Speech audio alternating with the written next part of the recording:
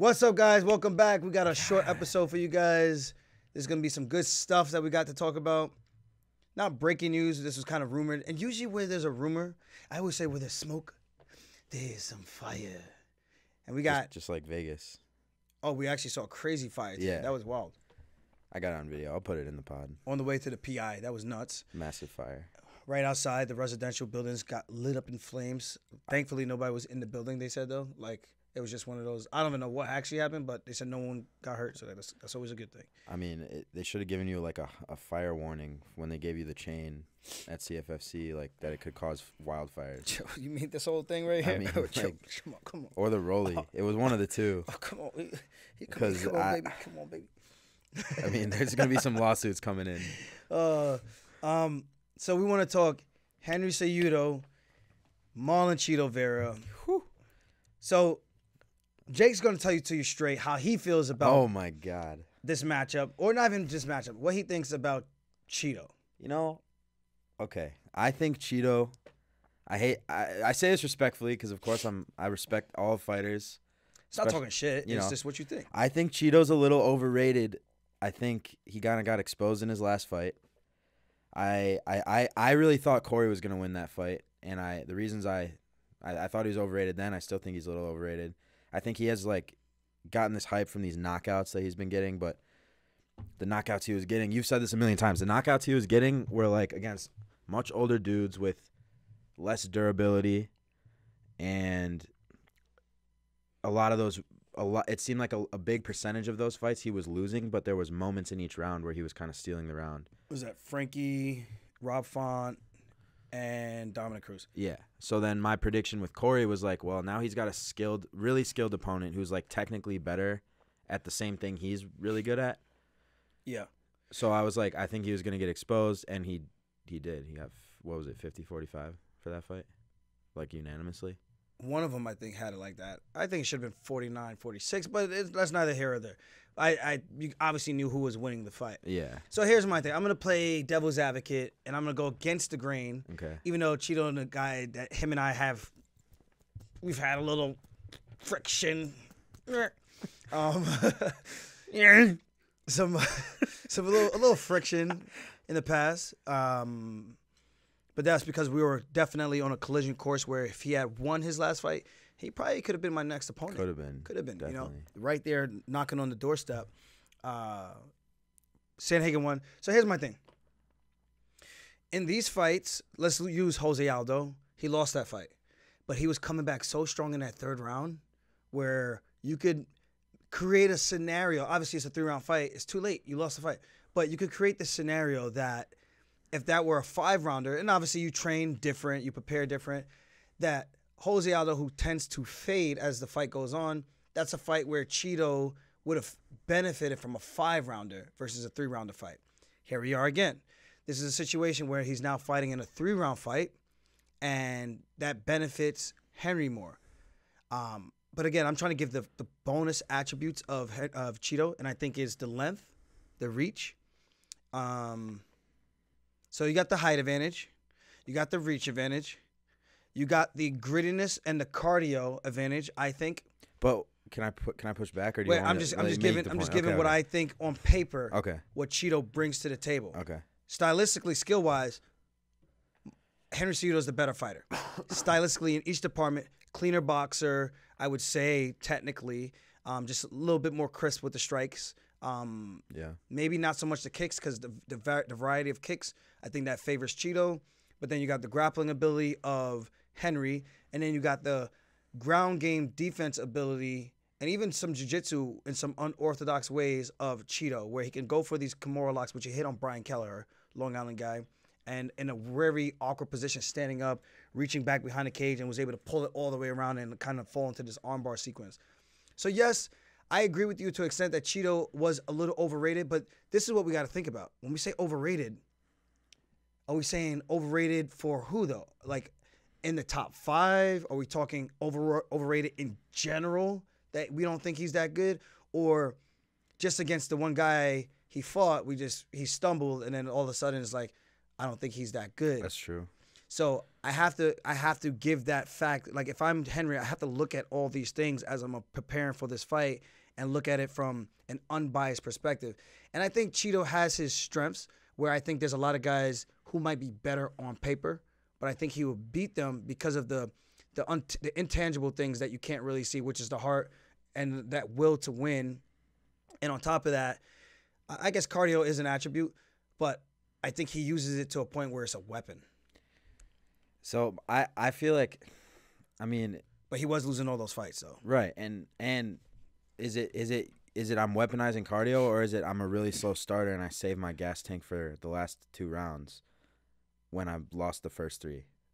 You know what I'm saying? Yeah. Like, what if Henry brings it to him, which I feel like he he could, and it's not it's not unlikely. That's the game plan. Henry, Henry, brings that's it the to game him, plan. pressures him, makes him grapple, defend takedowns, hits him with some hard shots, and I think Henry's gonna get hit with some hard shots. But like, then you're not so fresh in round three and round four and round five. Well, this was only a three rounder. That's fucking true. Yeah. So he doesn't have that whole bunch of opportunity to sit there and relax and let the guy tire himself out from punching him. And you know, it's not like he's getting punched and he's taking a lot of damage. He does a good job of shell blocking with that high guard, but it leaves his body exposed. But if I'm Chito, I'm looking at this and I'm gonna give I'm gonna, Chito. If Chito is listening, I'm giving you the goods and not to be ripping off of Henry like you can subscribe to my YouTube channel.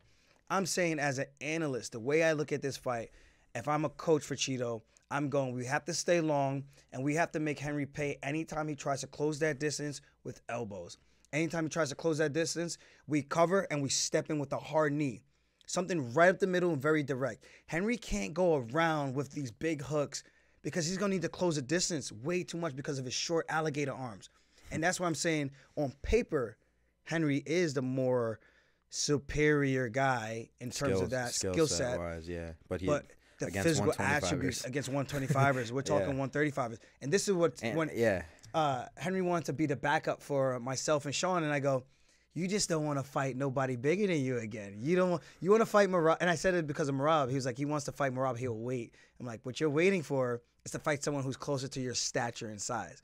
You don't want to fight the guys who are super tall and going to give you some problems because that was what he struggled with against me. I think if we were the same thing in terms of height and reach, that's a different fight. Like, of course, my physical ability is what played a big factor in that fight, and I'm not naive to that. And I think that's what Chito has to look at. Like, how can I figure out ways to hurt him? And I know what his approach is going to be. He's going to try to close the distance. He's going to try to start fast. If he takes me down, what the heck does Henry do when he takes him down? Is he going to posture up like Corey Sandhagen did in the first round? I mean, probably try to hit him. I would think, like ground and pound. Yeah. But I, I and I don't feel like Chito's so great at jujitsu that he's gonna like. you got to look at his resume. He's got a lot of submission finishes, man. Yeah, but Henry's like. I feel like I know he's not a great jujitsu guy, but like I feel like when you have like the wrestling background, it's hard to just bully you on the ground. when you have the wrestling background, it's harder. It's harder to get bullied on the ground. E- even though if you're if there's a discrepancy in the jujitsu, I still feel like you're strong on the ground. You know what I'm saying? Yeah, but you see, as soon as Chito gets taken down, he starts throwing these rabbit elbows, which he was doing against Sandhagen. That yeah. And the beautiful thing that Sandhagen did was he postured up and he squatted over him. And then he started going to town with his strikes, elbows, big punches, where it looked like, yo, this fight might be stopped in the first round. But then you look at it and you're like, well, Chito's mm-hmm. not actually getting hurt that bad because of the way he's so good with his defense. It's almost like he knows I'm to be in this crappy position. I weather the storm. Okay, it is what it is. I take my time and I come back. So that's what I'm I'm type I'm type looking at for this fight, and I'm like, this size disadvantage for Henry is gonna be a problem. I know he's gonna be dreading the fact and putting a lot of emphasis on how do we make sure we don't let this knee touch our chin? How do we not get hook kicked the way that he does all these unorthodox kicks that you don't really Yeah. see? It's a closer fight than people think. And No, I've been talking to people and they're like, oh, they think Chito's gonna get ran over. I'm like, dude, if I'm Chito, I got a lot of confidence coming into this one. Yeah, the, the biggest disadvantage is it's a three round fight. Because the five round is a main event between come on, come on. Come on. uh, I just had to I had to. I couldn't help myself. I couldn't help myself. Sponsored by Nerd Focus, guys. Come on, come on. Of course, Henry's coming back. He's gonna be saying he had no problems coming back August 19th, but he's fighting a three round fight. Yeah, You're It- fighting a five round fight. it's a it's a great fight though, man. I'm looking forward to this one, and I want to see if Henry's as good as he thinks he is for 135. Because when he's fighting these guys, yeah, he fought Dom, who's tall for the weight class as well. But the difference is Dom was a little bit. There's a couple things. He came up for the couch, short notice fight, and he's also older in the department. In a three round fight, do I think Dom has the ability to still outpoint a guy like Henry? I think so. I think you give him a full training camp. I think Dom can outpoint him all day long. He ain't gonna catch him with a kick the way uh, Marlon Vera was able to catch him with a kick. You see what I mean? With styles, it just changes everything. Mhm. But he caught him with a beautiful knee because Dom was dipping his head all crazy. But I think that's the difference between um, having a full time to prepare and making a mental mistake where you're a little bit more focused because you're super dialed in from all the prep work that you did. And I think fighters will agree with me when they say the difference between short notice fights and, and having a full training camp. Those are the small nuances where you should have zigged, where you should have zagged, and then you got caught. And sometimes you get lucky. Yeah, what do you think about Corey having to fight Umar and and Chito who lost to Corey is getting the Henry fight who's coming off a title fight. It seems like Chito's the one getting rewarded when Umar's the harder fight and he's less he's at a way lower ranking. So it's like Corey has way more to lose. I feel like the Corey fight got made first, which is really, really weird. But I think if Corey beats Umar, I think the UFC can't deny him because they threw him a tough fight where if Umar wins, Umar's probably getting the next shot. Yeah. Um, especially with me vacating after I smash um, Sugar Tits. So after I smash him, you have a vacant spot where Umar wins. He gets the shot. I guess maybe Merab.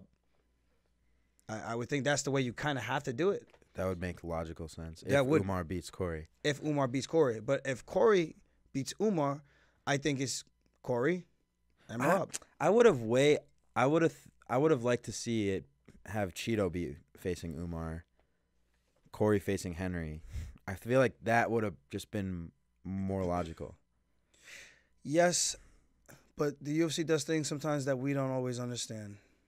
The universe works in mysterious ways. The universe works in mysterious ways. Mm. But to be fair, the UFC also has their war room where they legit have like this spider web conglomerate of weight classes that they're like, if he wins here, we put them here, and if this doesn't happen, then we put this one here. This is hypothetical. If this happens, then this goes here. Right. So they have these matchups almost predetermined based on the Yeah. outcomes.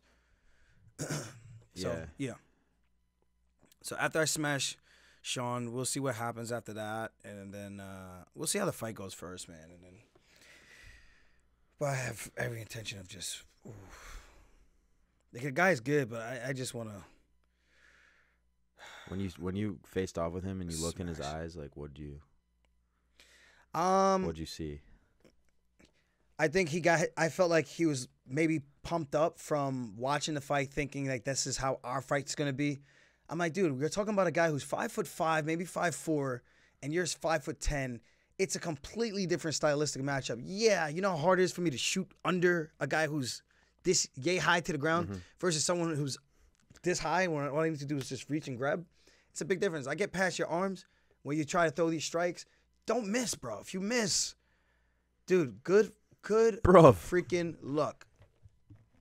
That's it. That's all I gotta say about that. All right. You wanted to talk about Oh, John Jones, Francis Ngannou. they finally got it right over there. Who is the king? Who is really the king of Wakanda? That's an interesting. I haven't heard that one. Who's really the king of Wakanda? I don't Who know. Who do you think would actually win in that if they actually fought each other in MMA, like in five months? If they, if it see- got announced and then five months from now they have a fight. See, now with this exact scenario, my intuition would lean towards the better grappler. The same way like Gane, light on his toes, but get taken down. I'm not saying Francis can't grapple, but we don't know what Francis's ability looks like to get up from his back if he were to get taken down. we know he's going to be super strong there, and John, I'm sure, is preparing for that. What I don't like is that it took three years for John to get here, respectfully, because when they had the face off, he brought that up, and and Ngannou said, "I've been here waiting for you for three years," and I'm like, "Ooh, you got a point there. You have a very valid point."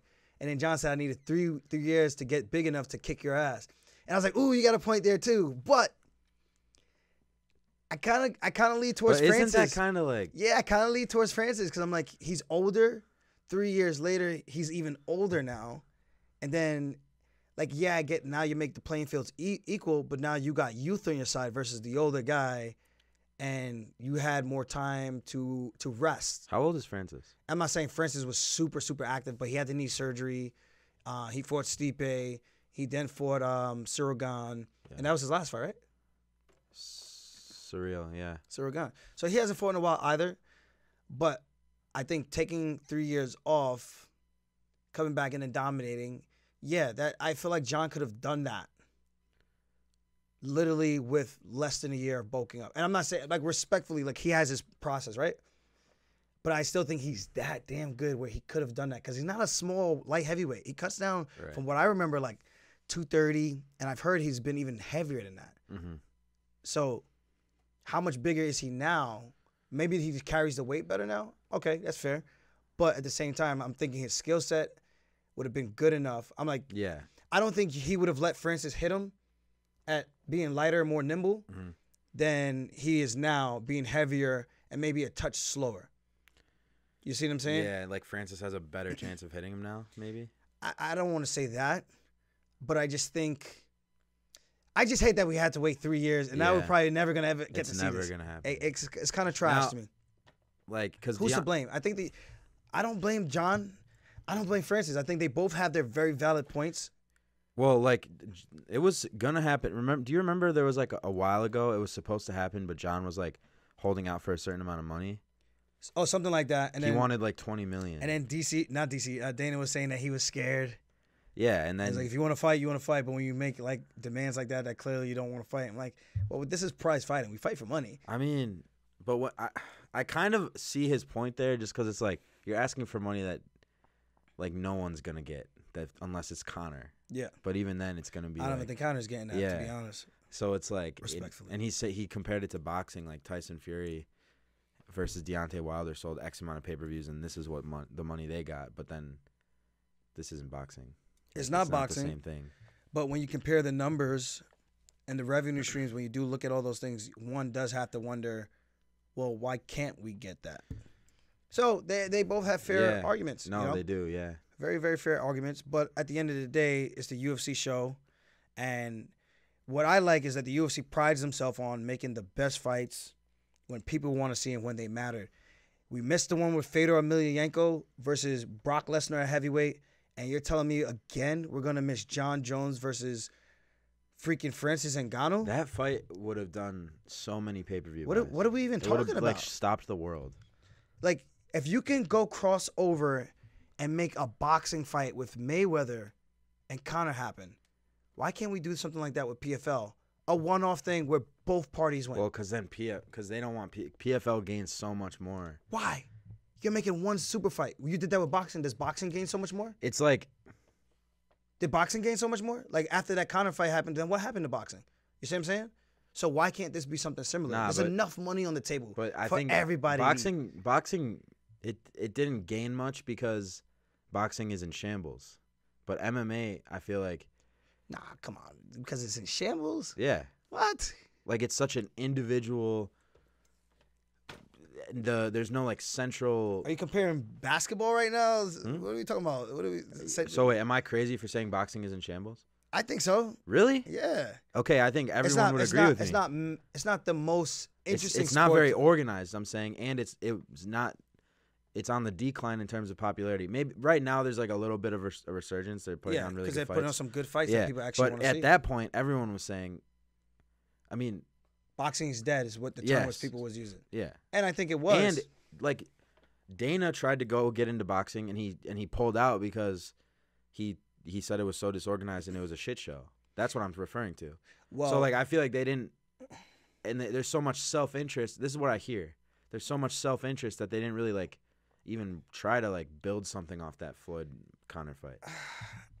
there's self interest in the UFC as well. So it's like, what are we talking But about? But there is also a long term vision for the sport.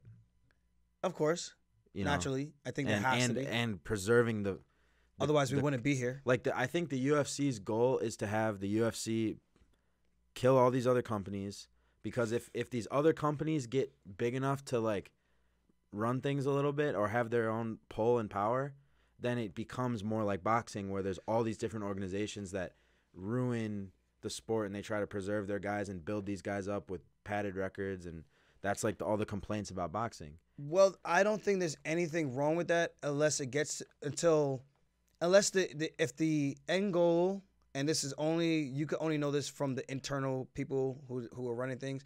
If the end goal is to eventually have their champ or their top guys cross over and fight the other guys, where it's like the WBO, CBC, whatever. Like there's a whole bunch of different belts, which I don't understand. So I don't know what is the premier boxing league, like the UFC. We know the premier boxing organization. It's the UFC. Right. So what if everyone what would- if Francis knocks out John Jones? But see, when you have multiple organizations, I feel there's also ways for the top guys in boxing to get paid the way they do and get taken care of the way they do, right? It's, it's definitely better for you guys. yes. I'm saying I don't think the UFC wants that at all because they want all the power. They want to control everything because I think th- they think that if the other organizations get the power where they can like control some of the market and have influence over it, then it kind of just ruins the whole sport. Cuz that's again cuz that's what happened to boxing. But I feel like boxing had all those multiple organizations since decades ago.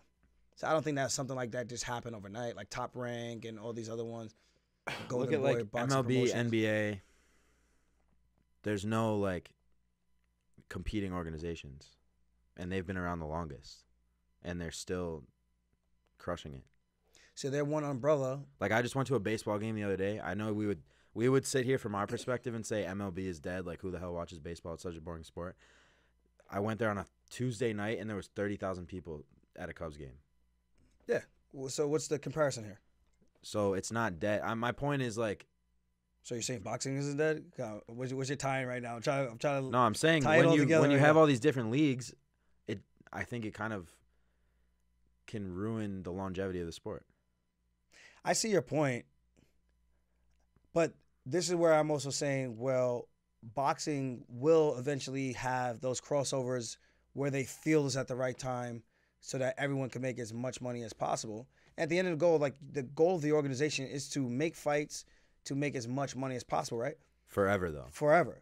So my thing is, why would it be such a bad thing for the UFC to once again do another one-off fight like they did for boxing?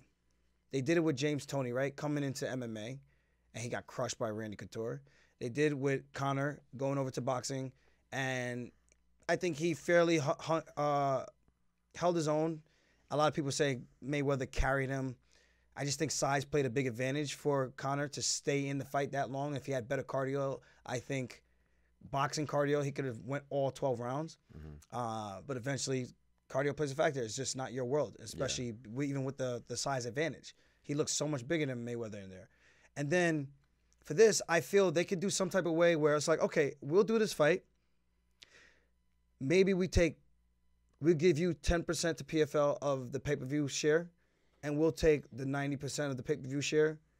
And I think maybe they just do it with John Jones and um, Francis on the card, where only them will get pay per view points.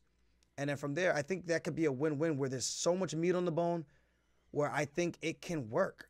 I think it's just whether or not the UFC wants to go out of the way to say, we're willing to work with another organization to make one crossover fight, and after this, don't come back towards us, to us. But then what if We want to show you that we have, we want to show you that we have the king. Okay.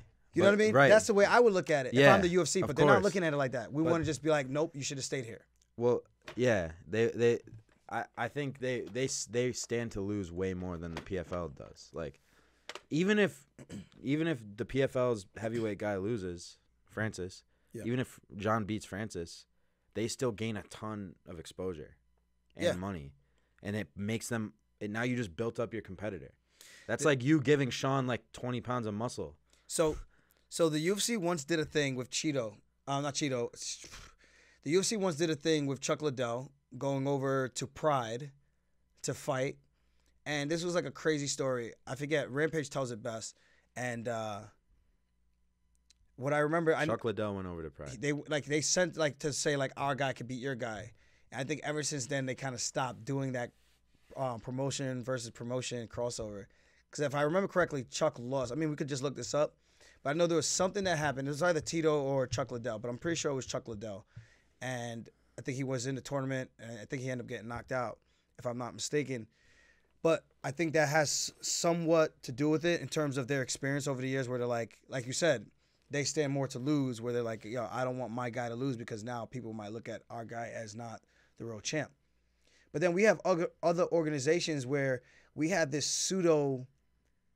We have this pseudo thing where people just automatically think the champion at the UFC could just automatically be all the champions in all the other organizations.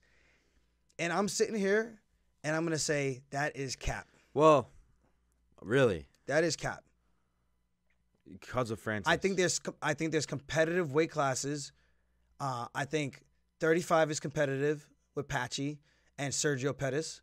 I think and Styles make fights. I think Usman Nurmagomedov, who's the champ, I believe at 155. I think that's competitive. I forget who's at 145, or maybe Usman's at 45. Sir, uh, I think Usman's 45 or 55. He fought. wait, I think Benson Henderson. Usman's about to fight for the title. Nah, he fought Benson Henderson. Because isn't. Pitbull 55 and 45 champion? He was, and then he went down so that his brother could fight for the belt, Okay. something okay, like that. Okay. Um, but if I'm not mistaken, he beat Benson Henderson for the world title. Okay.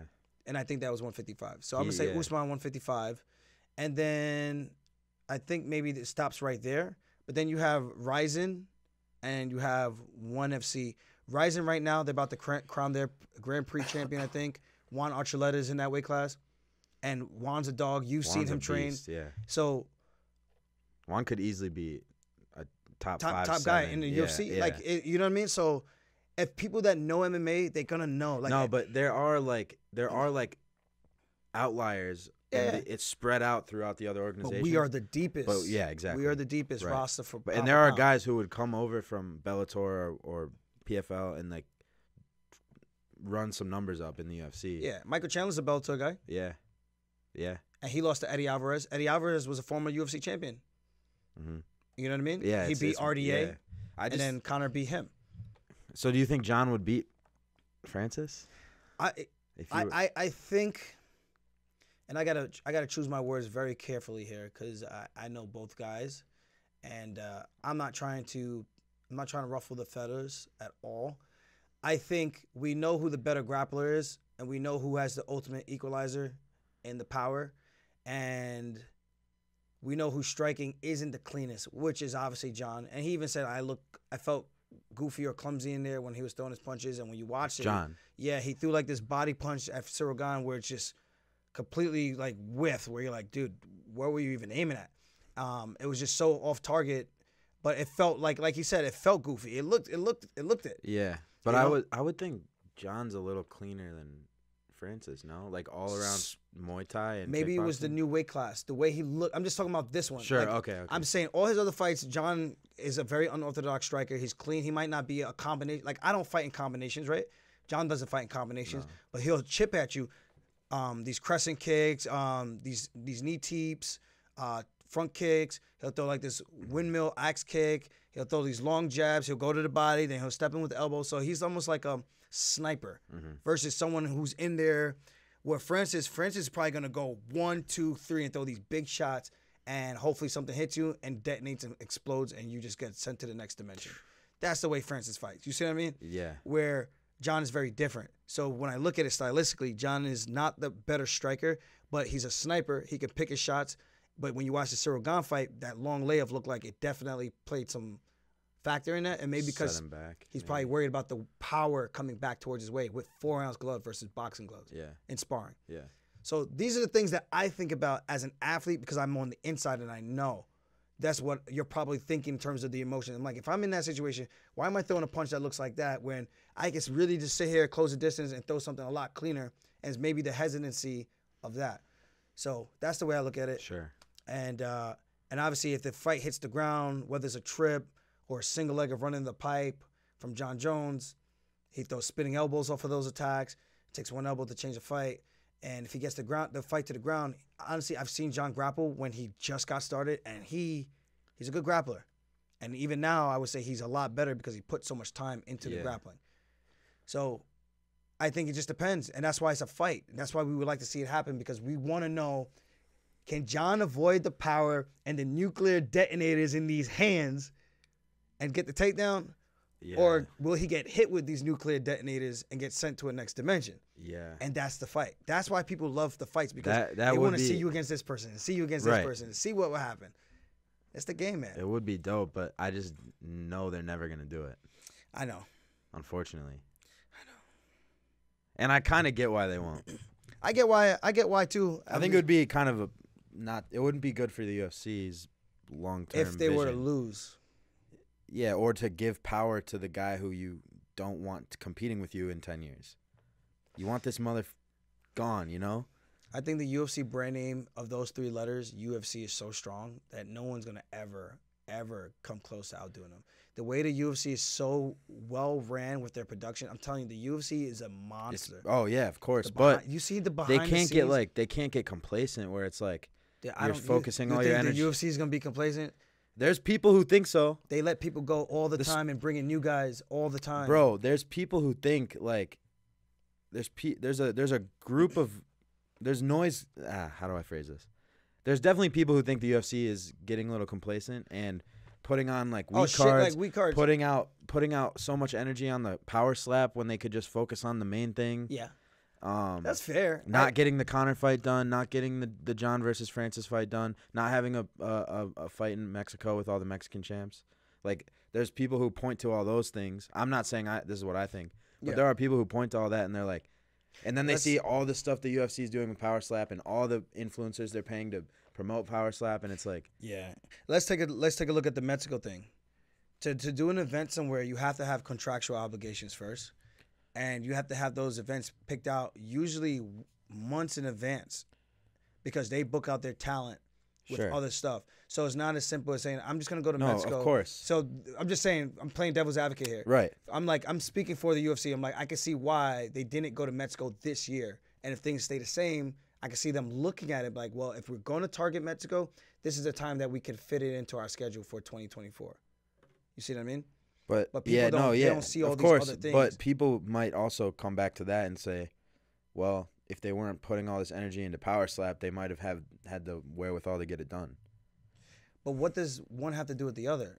Is what I mean. They have so many different because departments. it's they're using the UFC's resources to build Power Slap. But see, that's that's ignorant to say that because they have so many different departments. They have a media team that's dedicated to the Power Slap. Then they have a me- uh, a separate team. No, that- I've talked to people. that- ah, I don't know I've- if I, have should a, say I have that. a separate team that they have a separate team that does the event planning, and they'll pick out locations of where they want to go. And the UFC is involved, like Dana Hunter and uh, the, the higher ups are involved in like, yo, we think we should try to go here, and we think we can make this work. Vancouver, they have con- contractual obligations every November. They need to go to Madison Square Garden, Right. kind of thing.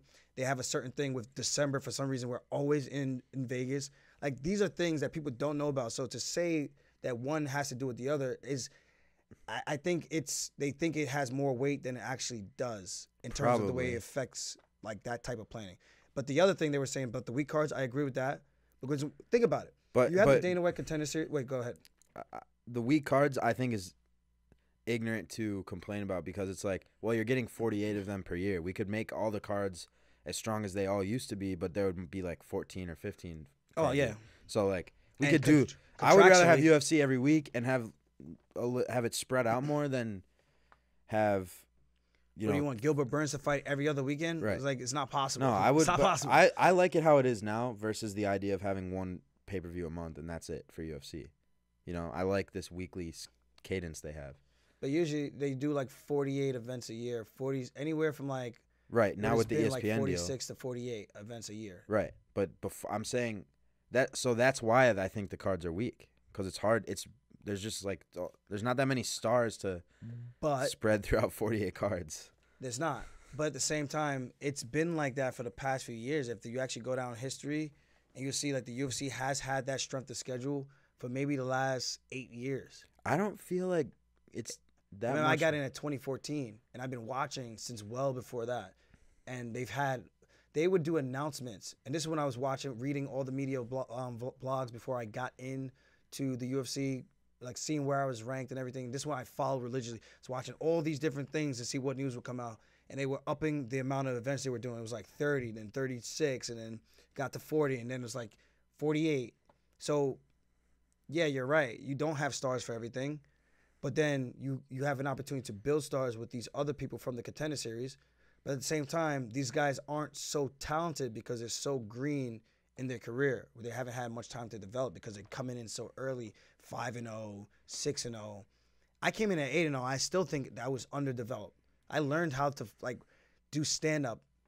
Like even though I did stand up in the gym, I learned how to do stand up in the cage during my time with the UFC. Right. Like I grew up with the company. Charles Oliveira grew up with the company and became who he is today. It's actually so crazy. So now you see these other guys. You, it's so hard to stay here. They lose Mm-hmm. two fights and they get cut. It's like, damn, you didn't even get a chance to really even like get the wheels turning. Like, Yeah. it sucks. Like, it, but I, I get it. They have so much talent that they're just churning them out. So there's like you make money on that end from the contender series, and you get you get people who are kind of popular from your exposure, and get people excited and hyped about them to see them when they make their debut. They make their debut, and you see some of these guys, and you're like, it looked a lot better on the contender series. Why is that? Because the contender series, it was two guys just fighting for a contract, and it wasn't really like about the skill. And then we get here where people are less concerned about that, they're fighting more talented guys who have more comfort in, in terms of their security with their job. You find out real quick if you're good enough to to play with these big boys, or you need a lot of work. So you're saying because they throw all these contender series guys on the cards, and even the guys who they they even like f- put guys on these these fight nights that didn't make it on contender series, but they just bring them in. To fill the card. Yeah. Yeah. But Dennis can't get a con. I don't. That's a whole other thing. That's separate. I ain't even gonna do him like that because I think that might be part of the reason why they. Yeah, leave it alone. I'm gonna leave it yeah, alone. Yeah. But yeah, man, that's that's the game right now. So yeah, people will say a lot of things, but there's so much that goes on behind the scenes, and I had to learn that because trust me, I was that angry person, like I don't get it, rah rah rah rah rah rah rah rah rah rah and I was just barking. And then when you start to meet people, you have conversations with some of these higher up guys, and you start to learn how the things work. I'm like, oh, you guys are actually a monster.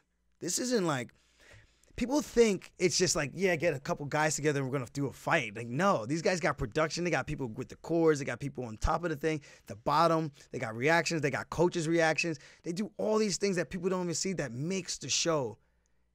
And then even when they do promo, they got all these different angles that you didn't even get to see.